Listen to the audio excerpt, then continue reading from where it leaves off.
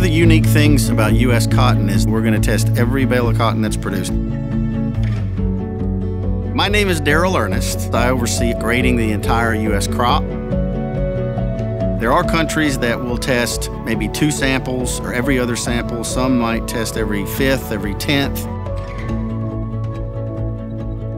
Every bale of cotton that's grown in the United States is graded individually by our program. So it carries its own unique identification card, carries its own unique grade and attributes.